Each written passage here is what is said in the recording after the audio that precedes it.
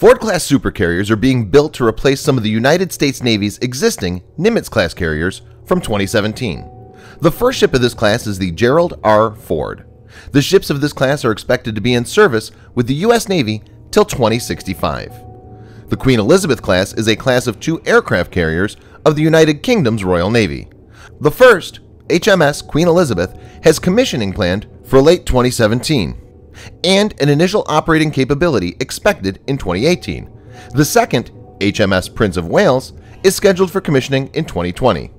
Both of these represent some of the best engineering of our times. In this video, Defense Updates compares the two carriers on the basis of five important parameters and draws an unbiased conclusion. So, let's get started. Number 5.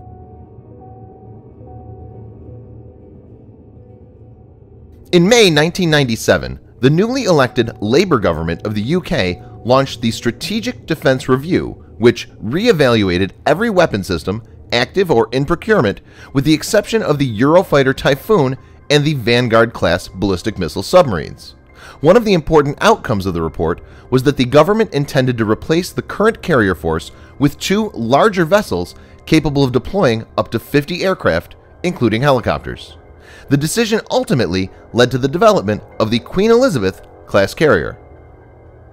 The Ford-class aircraft carriers were designed to be improvements on previous U.S. aircraft carriers, in particular the Nimitz class. The carriers have been envisaged to be more efficient and future-proof with capability to integrate most modern technologies. Like all 10 Nimitz-class aircraft carriers, Gerald R. Ford is constructed at Newport News Shipbuilding Company, Virginia, in the largest dry dock in the Western Hemisphere. Ford class displaces about 100,000 tons and spans 337 meters long, whereas Queen Elizabeth class displaces 70,000 tons and has a length of 280 meters. The numbers bear out the fact that both are super carriers, but Ford is significantly larger.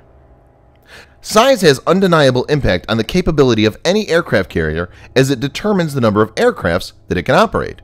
Queen Elizabeth Air Wing of 50 fighters falls well short of Ford-class capability to hold over 70 jets. It can be easily inferred that Ford has a distinct advantage over Queen Elizabeth in this parameter. Number 4.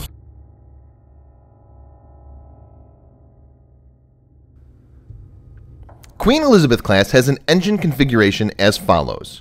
Two Rolls-Royce Marine Trent MT-30 36 megawatt gas turbine engine, four Wärtsilä 38 11.6 megawatt marine diesel engines. It has a speed in excess of 26 knots and a range of 10,000 nautical miles.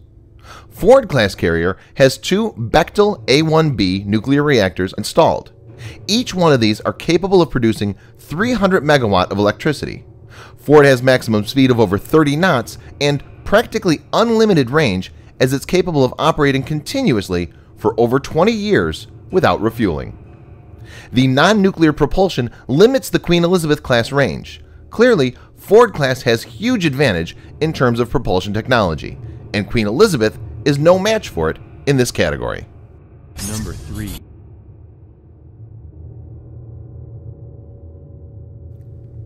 Queen Elizabeth will have F-35B Lightning II as the fighter aircraft. It will also have the Chinook, Apache AH-64, Merlin HM2 and HC4, Wildcat AH-1 and HMA-2, and Merlin Crow's Nest AEW. The Ford class will embark F-35C Lightning II and F-18 Super Hornets as fighter aircrafts. It will also carry EA-18G Growler electronic attack jets, E-2D Hawkeye airborne early warning and control aircraft, and C-2 Greyhound carrier onboard delivery planes. Apart from these, MH-60S Seahawk helicopters will also be present. The Ford has better combination of fighters with versatile F-18 Super Hornets being on board apart from stealthy F-35s which are present in both. It also has EA-18G Growler which is very important in modern combat scenarios as well as own AEW&C aircraft in the form of E-2D Hawkeye. Advantage goes to Ford class in this parameter. Number 2.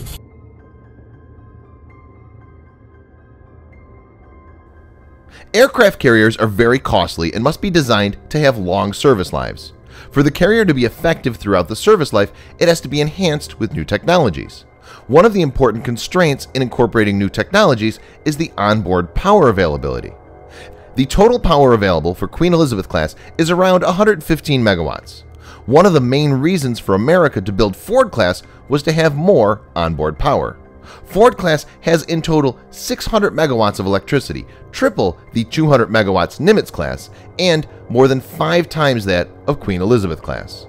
The huge power supply provides legroom required for future expansions like inducting laser guns and electromagnetic railguns. As evident, Ford has huge advantage in this regard. Number 1.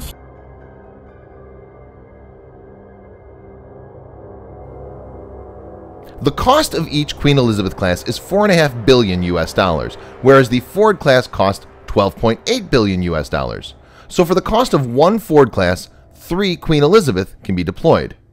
That's a massive difference and Queen Elizabeth class wins hands down. This also signifies the financial capability of the United States to fund such massive expenses. It must be noted that according to Stockholm International Peace Research Institute, the United Kingdom spent 48.3 billion US dollars in 2016, whereas the US spent 611 billion US dollars in the same period. The two classes of aircraft carriers are customized according to the specific needs of the respective countries. UK and US being allies, these two massively powerful platforms are not expected to come face to face in the battlefield. America has gone for the latest and greatest technologies with their massive financial muscle.